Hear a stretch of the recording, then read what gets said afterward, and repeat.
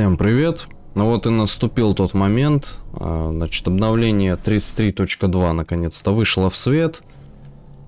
А, вот, а, когда проводился тест, я, конечно, смотрел все, что там было в этом обновлении, в трансляции на ВАЗДе, мы это все посмотрели, конкретно прям прошлись по пунктам, вот. Но так как мало людей было на трансляции, толком никто не зашел, Поэтому, собственно, придется здесь э, все это сделать заново.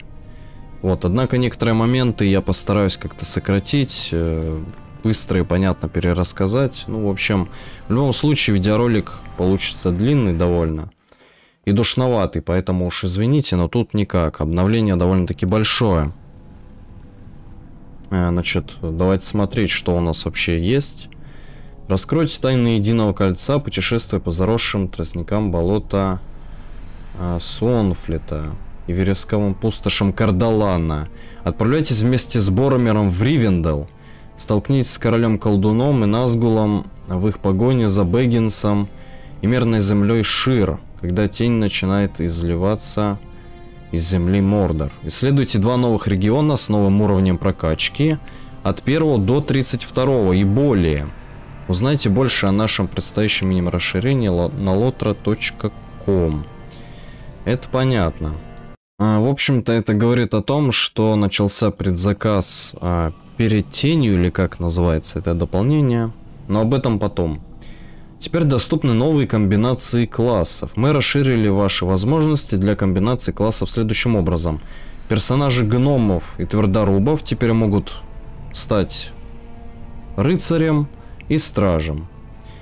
А персонажи эльфы и высших эльфов теперь могут э, стать взломщиками, персонажи хоббитов теперь могут стать чемпионом и хранителем мудрости. К сожалению, с теста это не исправили. Ну, я имею в виду, не изменили. Все так и выкатили. А персонажи мужчины теперь могут выбирать класс хранителя Ром. Ну, не мужчины, а в смысле люди. Так, тут далее говорится о фестивале. Конкретно новые косметические, косметические предметы были добавлены в игру в рамках подготовки к фестивалю Harvest Mass в этом году, который начнется в 10 утра по восточному времени 12 октября и продлится до 1 ноября. Ну, короче, это Хэллоуин, получается, осенний фестиваль, как я понимаю. Ну, потому что э, самое время для него как раз. Далее у нас идет изменение по классам. Входящие исцеляющие дебафы, применяемые игроками, теперь складываются друг с другом. Уникальные дебафы не будут складываться сами по себе. Это относится ко всем классам. А, вот этого я не помню, честно говоря, на тесте. Ну ладно. Примечание, некоторые входящие исцеляющие дебафы были уменьшены в силе. Ага. А, значит, Бёрнинг Жестокого возмездия. Наборы брони Жестокое возмездие теперь перечисляют и используют на набор из четырех предметов. Ну, это сет э, Гондабада рейдовый, понятно. Э, Броулер. Драчуны теперь получат правильные модификаторы Battle Rank при входе в Этенские высоты. Хорошо. Обновлено выпадание э, трофеев, специфичных для броулеров, как для библиотеки, так и для школы в Таммердайн. Ну, короче, в инсты добавили их предметы эти, узоры там или что. А, дебаф скорости передвижения от метания предмета больше не действует на врагов, невосприимчивых к замедлениям. Ну, это то есть э, метание кружки у броулера. Повышение уровня питания на тропе. Не совсем понял. Подождите-ка. А, все, я понял, это навык броулера, который усиливает еду, теперь работает с Fist of Anorian и Superior Fist of Anorian. Понятно. Далее взломщик. Взломщики теперь начинают игру с двумя кинжалами в руках. Нанесение в бою критических ударов теперь правильно открывает цепочку критических навыков. Хм, странно. Не замечал, что у взломщика там какая-то ошибка есть. Ну ладно. Исправлено, что неожиданный удар игрока не умножался должным образом на урон разрушительные азартные к игры. А, то есть в синей ветке что-то там пофиксили, хорошо, поправили. Кровотечение хитрой атаки теперь должны правильно применяться повторно даже когда текущее кровотечение вот-вот истечет. М. Даже не знал, что у взломщика, оказывается, столько проблем есть. Так, далее у нас идет, э, получается, рыцарь, капитан. Э, рыцари твердорубов теперь могут открыть набор семейных реликвий для новичков. Крепкий топор. Ладно, допустим. А рыцари теперь начинают игру с двуручным мечом. Диапазон благородных меток больше не уменьшается из-за ядовитой дымки. Понятно. Далее у нас изменение по воителю. Урон от кровотечения глубоких ударов теперь должным образом увеличивается на втором и третьем рангах характеристики. Далее у нас идут просто гигантские изменения по министрелю. Я все это не буду разжевывать, перечислять, потому что за министреля я особо не шарю. Могу лишь вкратце сказать, что концепт министреля э, стал точно таким же, как и броулера. То есть у него две ветки теперь всего лишь есть. Э, синяя хил, красный урон. И в желтой ветке у него чисто таланты, которые он может брать в обеих ветках – там вспомогательные таланты, бафы, там какие-то хилки, возможно, дополнительные. В общем, да, Министреля сильно переделали. Так, и немножко изменений по защитнику получается. А, защитники твердорубы теперь могут открыть набор семейных реликвий для новичков а, твердорубов. Понятно. Ну, короче, какие-то коробки там, я так понял. И надсмотрщик какой надсмотрщик. Защитник начинает игру с копьем в руках теперь. А начинал, по-моему, с каким-то кинжалом или мечом, да? Так, далее. Теперь в интро. Атака странника теперь дает мантию в качестве награды за легкую броню. Хм, интересно. Противники в Гундабадской битве на чердаках. Лофтс в батл, получается или в битве в кузнице больше не будут ошибочно награждать experience ом. Ага, предметы experience ом, валютой или добычей. Короче, это instance ы дейлики. Чуть-чуть поднерфили. Победа над общедоступными инстанциями монстров, которые постоянно возрождаются, не предназначена для продвижения персонажа. Однако эти конкретные враги до сих пор не были настроены правильно. Это боссы, опять же, в дейликах, которые приходят после убийства определенного количества мобов. Различные боевые задания в Гундабаде по-прежнему будут приносить опыт, использование предметов и другие награды. Понятно, немножко поправили дейлики.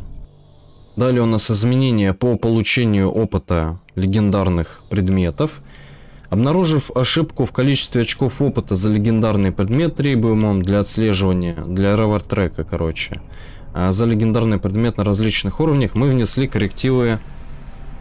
А, в общем, изменения ускорят прохождение легендарной цепочки наград за предметы для персонажей большинства уровней. Для уровней с 45 по 60 и с 95 по 120 количество опыта легендарного предмета, необходимого для прохождения по реворд-треку, было уменьшено. То есть теперь проще на средних уровнях его фармить. Для уровней 61-94 а, количество опыта легендарного предмета, необходимое для продвижения, было значительно уменьшено. То есть еще сильнее. Для уровней 121-130 а, немного уменьшено. На данный момент на уровнях 131-140 опыт легендарных предметов остается точно таким же, но в будущем это будут уменьшать количество необходимого опыта. Вот и вся суть. Так, далее у нас было очень много изменений в PvMP, еще на тесте, но вроде как потому, что я вижу, уже на окончательном варианте есть изменения в отношении теста. Ладно, сейчас посмотрим. Общие изменения э, орка, то есть как раса именно. Умирающая ярость превратилась в неумирающую ярость. Время перезарядки бессмертной ярости составляет 8 минут и требует, чтобы орка было менее 50% здоровья. При активации он применяет эффект порчи, который делает орка невосприимчивым к смерти. Короче, вешается порог, как у боссов. который можно снять, получается, ударом, снимающим пороки. Э, увеличивает урон, уменьшает входящий урон и по истечении срока действия наносит 50% максимального... Э, короче, наносит урон в размере 50% от максимума здоровья орка в качестве урона. Кроме того, эффект обеспечивает увеличение исцеления на 2% при использовании всех навыков, пока вы находитесь под действием бессмертной ярости. Если порог будет удален до истечения срока действия эффекта, орк не получает эти 50% урона, а время восстановления бессмертной ярости уменьшится на 360 секунд. То есть вот этот расовый скилл, который ярость, после которой умирает орк, вот, его апнули. Изменения на заставе. За каждую заставу, которую контролируют игроки монстра, они получают 20% бонус к заработанной славе, понятно, и похвале. А также 45 тысяч искусности. За каждый аванпост, который контролируют свободные игроки, они получают 20% бонус к славе. И все. А, изменения в башнях, то есть именно в крупных заставах. Лугазак, то Ласкарнин. Нет, не то Ласкарнин. Лугазак и этот, Территроу. Ну, или сопилка, там вот это вот все. А, сейчас, где это? За каждую башню или лагерь, которые контролируют игроки-монстры, свободные игроки не получают 25% бонус. Ну, то есть, на 5% больше, чем с маленьких застав. А, касательно Тола Скарнина. Конкретно за Тола Скарнин теперь 50% бонус к славе или позору идет. Ну, вот, то есть Толас Карнин центральная крепость и самая крутая теперь. Никаких других бонусов, ну это понятно. Изменение артефактов, то есть даров, которые можно воровать.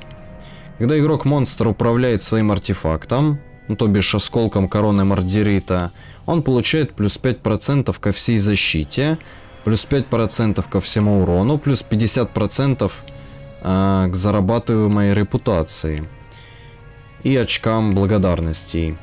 Э, повышенную ловкость на 180 тысяч. Ну, тут искусность имеется в виду, да, финес. И снижение затрат энергии на 2%. Но это ерунда. Когда свободные игроки контролируют свой артефакт, дар Карака, да, получается, этот... Э, похоже на, лепё... на коровью лепешку, ну, короче, улей. А, они получают 2% ко всей своей защите, 50% к славе и благодарностям, а также снижение затрат энергии на 2%. То есть у крипов, конечно, бафы покруче. Мы обновили внешний вид для нового внешнего вида паука, доступного в магазине Лотра. Понятно, за лотропоинты. Теперь внешний вид. Это внешний вид э, гамноголового паука. Кожа белого ручного варга в Тенских высотах была изменена случайным образом. Мы вернули правильный скин. Понятно. А, все карты для Этинских высот, для Грэма вернее, прошу прощения, теперь имеют 60-секундную перезарядку. То есть раньше игрок начинал с картой с перезарядкой в один час, игрок-монстр, возвращение в Грэм, теперь одна минута. Это делается для того, чтобы устранить проблему с удалением карты из первоначального задания. Вот.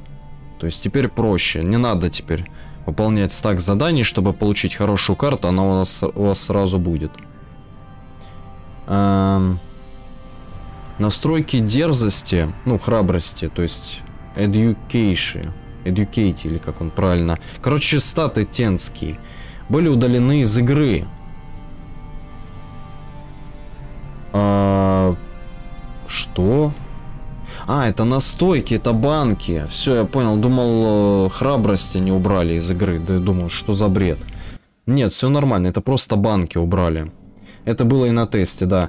Поскольку они искусственно завышали стоимость храбрости, будучи активным для игроков монстров, да. Ну, типа, если вы использовали банку, то для покупки у вашего тренера храбрости, так как это пассивный стат. Вам требовалось больше очков, так как искусственно типа повышен уровень. Ну понятно.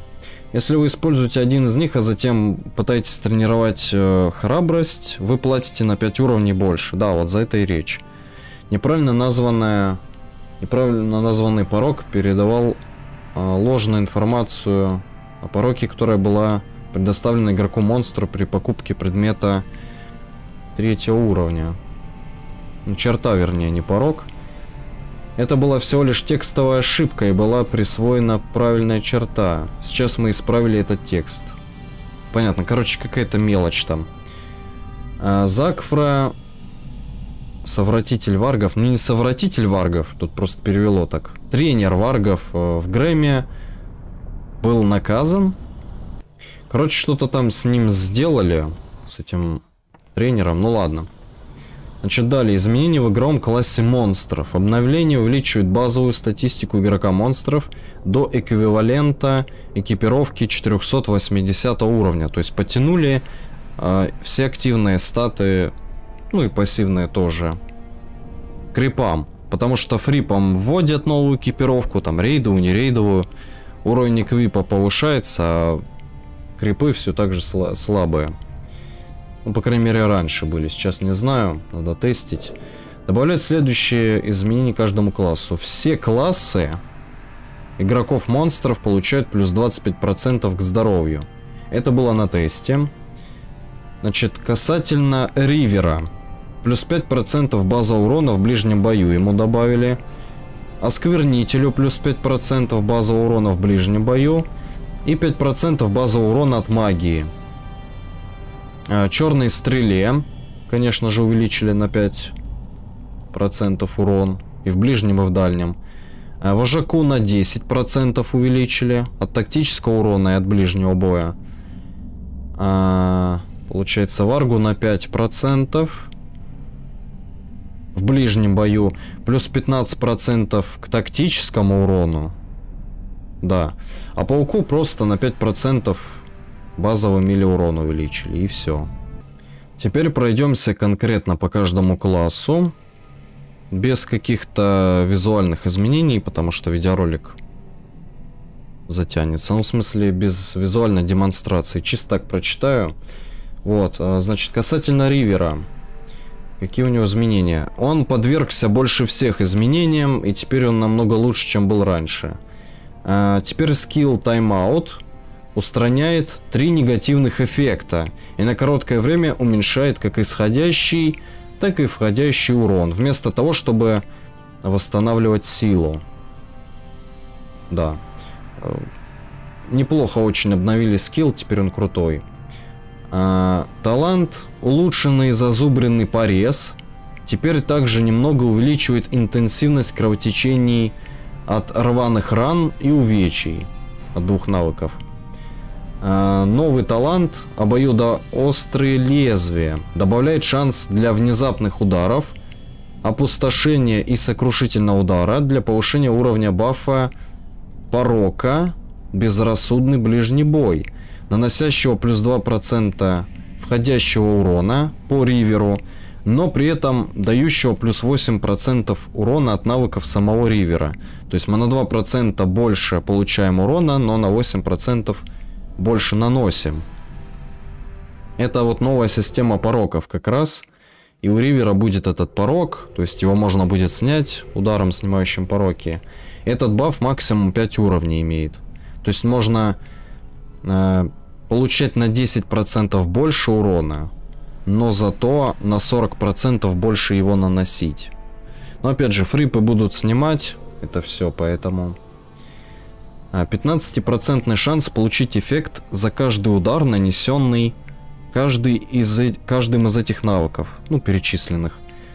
А, в то время как таланты, разделяющий удар, гарантированно повысит уровень безрассудного ближнего боя. Угу. Этот эффект является искажением пороком и может быть уменьшен или рассеян свободными народами. Ну, то, о чем я говорил как раз. Разделяющий удар теперь уменьшает броню цели и физическое ослабление на 60 секунд. Урон от ударной раны со временем значительно увеличился. А бросок клинка теперь замедляет цель на 20% на 10 секунд.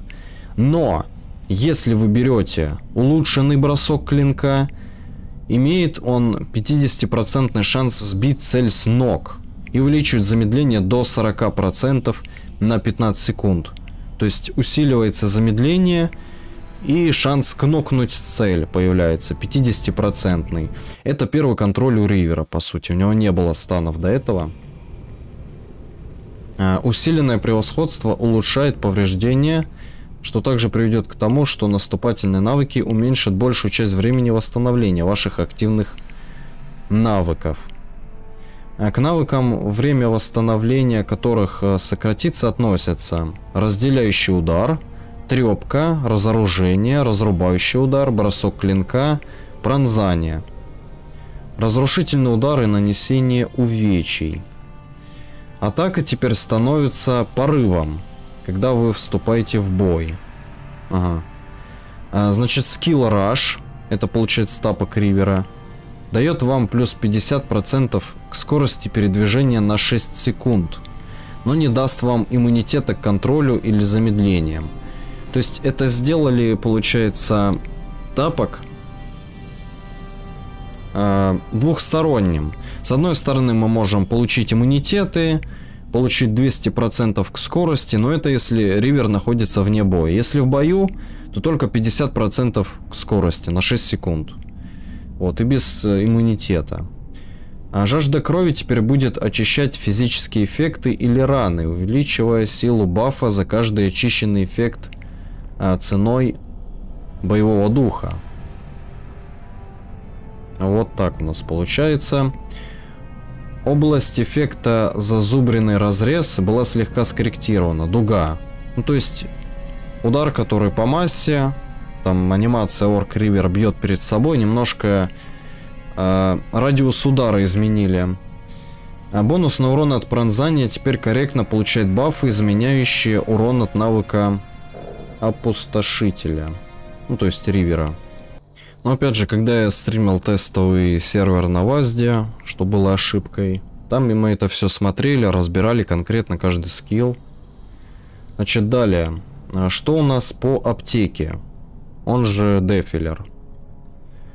А, аптеки дали две стойки. То есть у аптеки теперь есть стойки. А, выкрикивающий проклятие, первая стойка – уменьшает исходящее исцеление, но увеличивает исходящий урон. Уменьшает время подготовки навыков тыквы и проклятия. Отключает выцветание.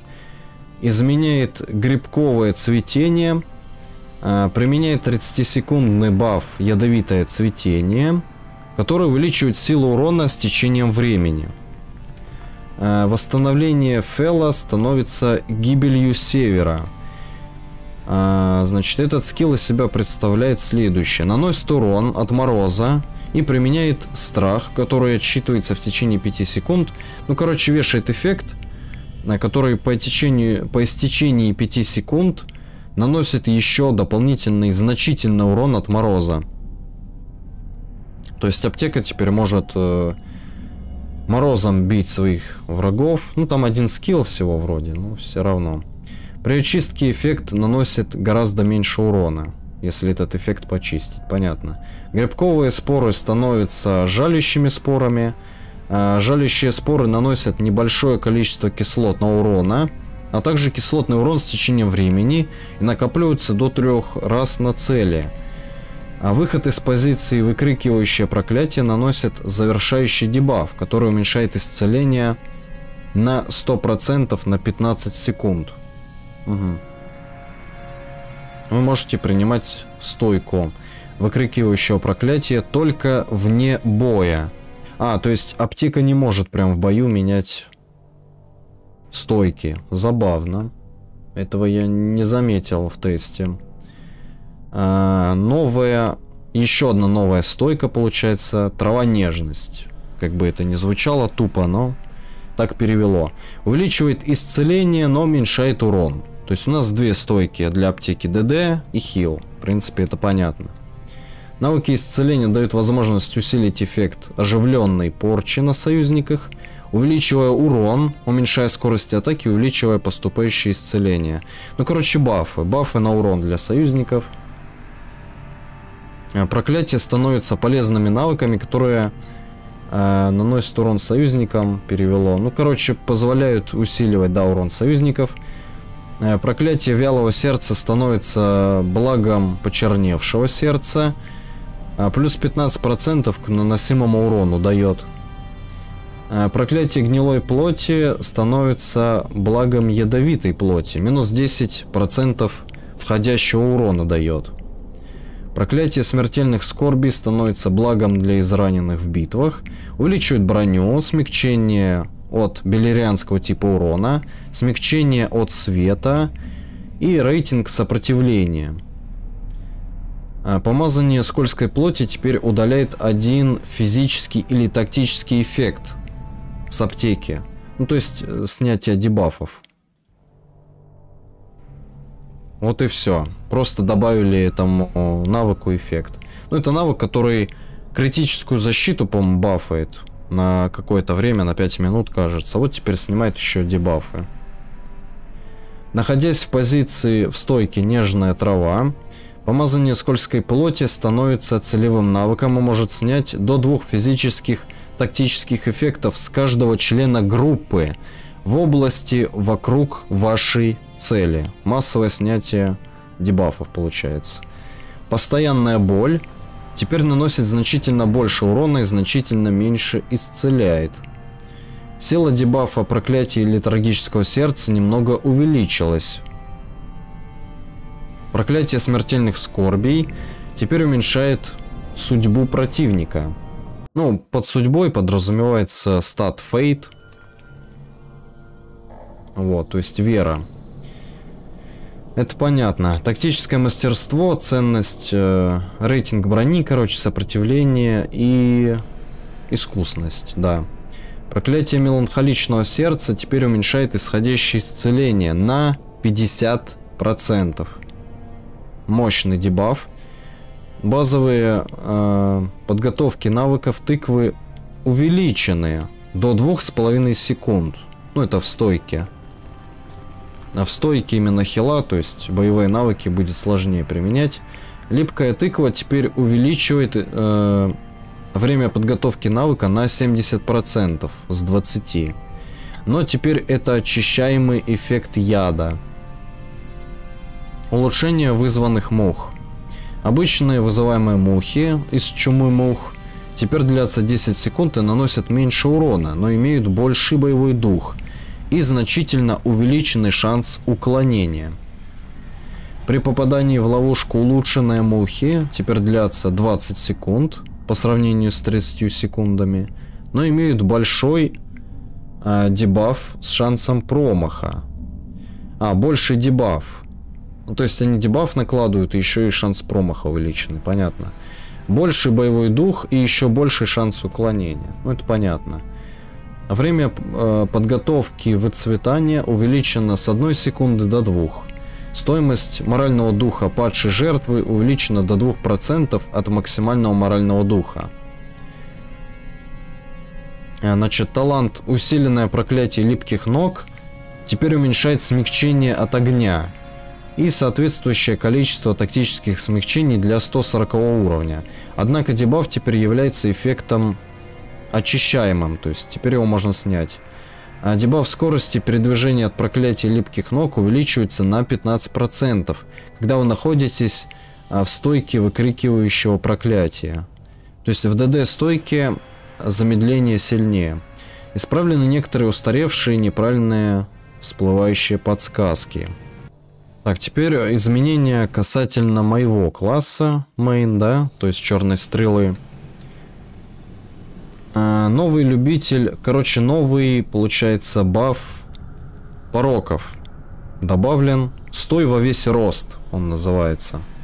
Дает плюс 5% урона от навыка, плюс 2 к максимальной дальности стрельбы и минус 3% к продолжительности подготовки за уровень. Уровни максимум 3. Три уровня максимум. То есть 15% урона, 6, 6 метров дальности стрельбы, минус 10% э, к подготовке навыков. И продолжительность этого порока 15 секунд. Этот эффект является пороком, и таким образом может быть рассеян свободными народами. Да-да-да. Значит, изменили навык центр. Это снова направляемый навык. Поднимайтесь по уровням, стойте во весь рост за каждую секунду во время применения. Короче, при применении навыка центр, он работает как э, сбор концентрации у охотника. Только если у охотника собираются очки его концентрации при применении, то здесь мы как бы накапливаем, настакиваем себе этот порог. Стой во весь рост, который, да. А теперь ежесекундно восстанавливает боевой дух. А вместо того, чтобы пытаться истощить свою собственную силу. Улучшенная жизненно важная цель. Это ЖВТшка, ну то есть аналог выстрела в сердце у ЧСа. Добавит один уровень э, к пороку стоять во весь рост. То есть с помощью ЖВТшки можно этот дебаф ну, обновить, да, то есть 15 секунд на исходе, используйте ЖВТ, и он заново вешается. Сразу третьего уровня получается, так как не успел слететь. А жизненно важная цель теперь наносит немного меньше урона. А вот этого не было на тесте. То есть ЖВТшку мне порезали. Ну какого хрена? Ну хотя, учитывая, что бафы теперь есть от пороков, но опять же, это больше гемора. Эм... Сильная тяга теперь наносит больше урона, повышает уровень, стой во весь рост и имеет 12 секунд перезарядки за пределами застрельщика. Ну, это навык Strong Pull, получается, да. На английском он называется. А, значит, далее Steadfast Barrage Skill, то есть стойкий шквал. Увеличивает дальность стрельбы до 40 метров и наносит больше урона за тик а, в течение 6 секунд. Там еще можно э, во время нанесения этого урона передвигаться. Правда, очень медленно, но все же. Время перезарядки теперь у этого скилла 20 секунд. Но там нормальный урон выходит. Теперь в баррикаде есть смысл использовать. Улучшенный стойкий заградительный огонь э, дает шанс нанести критический удар и увеличить урон за тик э, в течение 8 секунд. Improved Steadfast Barrage. Короче, понятно, на 2 секунды дольше длится. Время перезарядки теперь 20 секунд. Ну и урон, возможно, выше. А, и плюс шанс э, критический удар нанести повышается, да. А, значит, э, скилл Shot теперь наносит входящий дебаф исцеления минус 30%. Круто. А, время перезарядки Tangle Шота теперь составляет 20 секунд. Я не помню, сколько было, к сожалению. Ну ладно, 20 так 20. Урон от ловушки и огненной ловушки уменьшен. Черт возьми, а. А вот это мне уже не нравится. Ну, от ловушки ладно, она чисто как э, рут повесить нужна. А вот огненная ловушка это был самый дамажный скилл ЧС. Ну, наверное, и остается, но то, что его порезали, это печально. Э, урон немного увеличен навыков порез. Рана. А, то есть кат, гаш. Ну, гаш, кстати, я использую, так как там, если улучшенный гаш использовать, он станет. Навык ближнего боя. Препятствующий выстрел, то есть хиндеринг шот. Цветок смерти, ну, то есть ливень этих стрел. Э, месть, ревенж. Кричащие стрелы. В твоем лице, in your face. И запутанный выстрел, тангл шот увеличено, короче, немного урон от этих скиллов. Ну ладно, хотя бы так. Взрывная стрела теперь корректно наносит урон по области после обратного отсчета. Да, я, кстати, замечал, она как-то не так немножко работала. Теперь, видимо, нормально будет работать. Обратный отсчет взрывной стрелы теперь длится 2 секунды, а было 5, по-моему. Нормально. И является эффектом ранения. Очистка раны предотвратит нанесения массового урона, но все равно нанесет полный урон первоначальной цели. А, то есть можно избежать именно массового урона этого эффекта, но цель, в которую вы стреляли, все равно получит этот урон. Дальность поражения взрывной стрелы увеличена до 7 метров. Было, по-моему, 5. Ну, короче, немножко взрывную стрелу апнули. Надо будет посмотреть. Да, кстати, если я не поленюсь, я вставлю тайм-коды все э, в описание под видео, получается, да. Чтобы вы там каждый мог, допустим, отдельно свой класс посмотреть, кого что интересует. Так, далее у нас изменение вожака, за которого я не особо много играл, но чуть-чуть играл. Значит, э, командный пункт теперь увеличивает э, все мастерство на 25%. Ну, то есть физическое и тактическое. Знамя ужаса теперь также включает в себя уровень ужаса при его вызове. Ну, то есть, как э, у фрипов, получается, э, на боссах, да, там фрипы начинают их бояться, то есть красный глазик на карте, вот это вот все. Э, дебаф от знамени террора теперь уменьшает физическое мастерство, а не тактическое. Знамя ужаса теперь также включает в себя три уровня ужаса при его вызове. Дебаф от знамени ужаса теперь снижает рейтинг тактического и физического мастерства. Дальность действия угрожающего рева увеличена до 20 метров, а общее количество целей увеличено до 6. Дебаф от угрожающего рева теперь накладывается на цель только 3 раза, а также снижает сопротивление страху на, на 5%.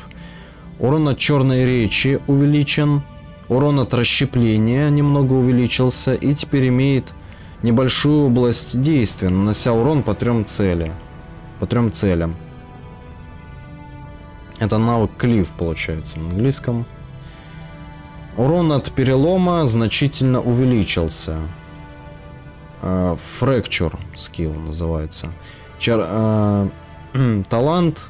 Увеличение урона теперь дает плюс 25% урона, а не 3%. А, талант наделения силой теперь имеет значение тактического мастерства, соответствующее 140 уровню, а ее, коэфи... а ее коэффициент усиления в бою изменен на коэффициент сопротивления. Так, что-то у меня горло немножко начинает прифигевать. А, чистка больше не выводит союзников из скрытности. Вот это прикольно. При активации чистки теперь дает 6 секунд иммунитета к контролю э, ну, 6 секунд контролю, короче. Когда используется талант «Сила без страха», перелом теперь дает вам баф без подготовки, независимо от того, поражает ли он вашего врага. Ага. Ну, это, по-моему, следующий навык, типа, требующий подготовки, будет без подготовки. Вроде так это выглядит. Э, талант «Грубый язык» теперь также уменьшает а, подготовку исцеления на 15%. А, стойка броулера теперь корректно уменьшает исцеление для всех навыков исцеления. Еще далее у нас изменение паука. Улучшенная цепляющая паутина теперь корректно применяет как первоначальный дебаф промах, так и дополнительный дебаф уклонения и парирования. Ядовитая дымка теперь имеет максимальную дальность действия 40 метров и уменьшает дальность действия навыков игрока вражеского на 15 метров. Смертельный поцелуй теперь наносит немного больше урона в начале и наносит значительный урон через 10 секунд. Время перезарядки увеличено до 10 секунд. Эффект скрытого урона, смертельный поцелуй – может наносить до трех ударов по цели одновременно и способен нанести критический удар. Э, Некроз теперь снижает рейтинг сопротивляемости целей на 120 тысяч. А, а, талант Стальные нити теперь увеличивает льготный период для ваших корней до 3 секунд. Базовый урон Энвеном увеличен. Э, дар Шелоп уменьшен с полного исцеления до 1 трети исцеления. Сила исцеления дара Шеллоп уменьшена, это понятно. Э, дар Шеллоп теперь дает 5 единиц яда и увеличивает э, точечный урон на 15 секунд. Ну, то есть по одной цели, как я понял. Время восстановления дара Шеллоп увеличено до 30 секунд. Эффект точечного урона от подарка Шеллоп увеличен с 20% до 50%. Э, навык Пир теперь восстанавливает боевой дух в случае поражения, а не силу. Вернее, не, силу, а энергию имеется в виду. Ядовитый спрей теперь можно использовать против NPC. Угу. Значит, изменение петов. Базовое здоровье детеныша увеличено на 15%. Смягчающие факторы увеличены на 20%. А, сильный выводок теперь дает плюс 125% здоровья, минус 10% а, энергии, плюс 5% скорости атаки, плюс 25% урона в ближнем бою, плюс 25% шанс критического удара и плюс 15 э, к уклонению, к рейтингу уклонения. Выводок скитот дает 50% здоровья, 15% энергии, плюс 10% э, к скорости атаки, минус 25% урона в ближнем бою, плюс 35% урона на дальнем расстоянии, плюс 25% шанс критического удара и плюс 10% к рейтингу уклонения. Новое умение очищение теней стоит 3 яда может использовать до трех отрицательных, а может снять, вернее, э, снять, э, короче, до трех отрицательных тактических эффектов э, песни или крика. Сам паук исцеляется на небольшое количество за каждый потребленный эффект. То есть снимает пороки с себя, ну, дебафы, и за счет них восстанавливает здоровье, я понял. А, далее, токсичный панцирь был слегка переработан. Эффект от ядовитого панциря теперь со временем уменьшается. Начальный уровень зависит от количества потребленных очков яда. Эффект уровня 5 теперь составляет минус 25% входящего урона от атаки, 80% отражает урона. Сила входящего урона уменьшается на 5% за уровень, а сила отражения уменьшается на 10% за уровень. Общая продолжительность и время восстановления немного увеличились. Максимально возможная продолжительность 25 секунд. Время восстановления 90 секунд, полторы минуты. Этот эффект теперь является пороком, что означает, что он может быть уменьшен или рассеян свободными народами. Э, токсин теперь уменьшает входящее исцеление вашей цели на 20% в течение 10 секунд. Колющая атака теперь дает 2 яда. Значение урона от Энвеном, э, вирулентного яда и ядовитого аэрозоля теперь корректно увеличиваются на все соответствующие эффекты усиления – Время перезарядки «Поймай добычу» уменьшено до 5 секунд. Поймай, э, поймать добычу теперь увеличивает дебаф входящего урона в ближнем бою. 1-5% э, на вашей цели в дополнение к ее первоначальным эффектам. И также поймать добычу больше не будет отключаться, когда на паука действуют способности контроля. Так, ну и осталось посмотреть э, Варга, что из себя теперь представляет Варг. Э, значит, э, стойка живодера. Пузырь от живодера, бабл, теперь составляет 7% от максимального здоровья. В позиции истребителя... Позиции истребителя... А, ну, короче, живодер тот же имеется в виду, понятно. Короче, в стойке живодера свайп становится жестоким свайпом и применяет эффект э, повреждения, который увеличивает вероятность запуска бонусных эффектов грубой силы на 50%. А, брутальные клыки, стойка истребли... ну, истребителя, опять же, этого живодера. А теперь уменьшает блок, парирование и уклонение на 25%. А при нанесении бонусного удара брутал уменьшает броню на 25% в течение 45 секунд. Но это довольно много на самом деле.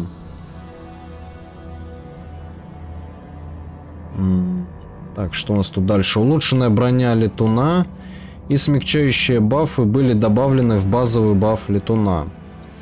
А, талант улучшенный летун теперь а, дает минус 10% входящего урона в ближнем бою. На дальней дистанции плюс 5% уменьшения урона в Белерянде и плюс 20% угрозы. Ну, не летун, а опять же живодер, как я понял. Охотники за стаей. Версия без теней, без живодеров. Да. Э, теперь увеличивает входящий урон э, по цели на 5% и уменьшает входящее исцеление на 50%. Э, значит, Shadow Pack, пакет, пакет теней переводится. Теперь уменьшает входящее исцеление на 25%. 10% после выхода из зоны дебафа. Эффект усиления урона улучшенный боевой вой длится 25 секунд, а не 15, как раньше, как я понял. А базовая скрытность больше не снижает скорость передвижения, но базовый уровень скрытности снижен на 3 единицы. Талант улучшенная скрытность теперь увеличивает скорость скрытного передвижения на 5% повышает уровень скрытности на 7 и увеличивает критический шанс э, атак и скрытности на 10%. Немного увеличен урон от звериных когтей. Уменьшен, вернее, прошу прощения. Но немного увеличен урон от царапин и надрезов.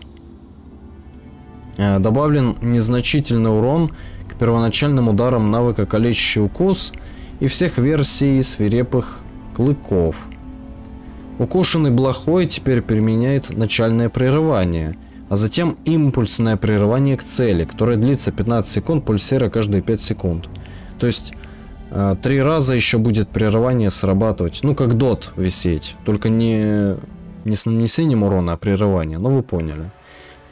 Э, вой нервирования теперь имеет 50% снижение дебафа,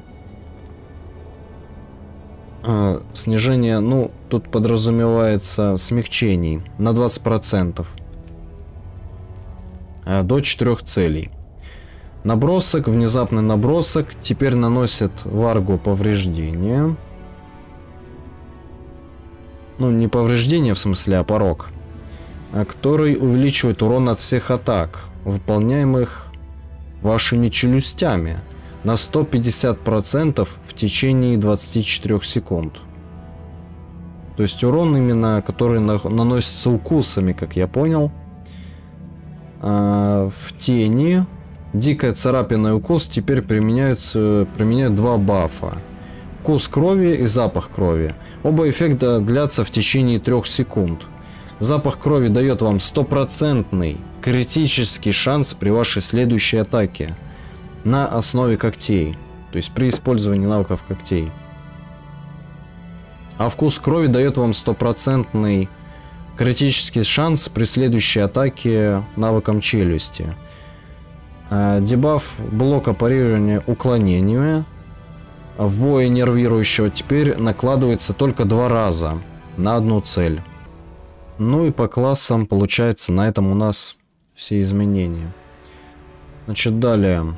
Э, лут, э, лут Крибан и официальные питомцы породы Корги теперь отображаются на панели коллекций. Руны предмета опыта больше не выпадают из сундука Way of the Willow T1. Это инст диколесье, кажется. При использовании увеличительного стекла для крафта, ученого и книжного реквизита на хоббитах мужчин теперь отображаются правильно – Ладно. А, твердорубы теперь правильно держат цыплят. А, ладно, что бы это ни значило. Эмоция подъема теперь будет должным образом отображаться на женщине-гноме. Э, твердоруба. Ага. Нажатие на пипсы в треке вознаграждение теперь увеличит масштаб отображения до выбранной вехи. А ну-ка, Shift-I. Ну, это, по-моему, было. Не совсем понимаю, что здесь имеется в виду, ну ладно. Горячая клавиша для призового трека теперь может быть переназначена. Ну, для ревер трека. А, ездовой конь затененного короля теперь показывает правильную информацию о приобретении на панели коллекции.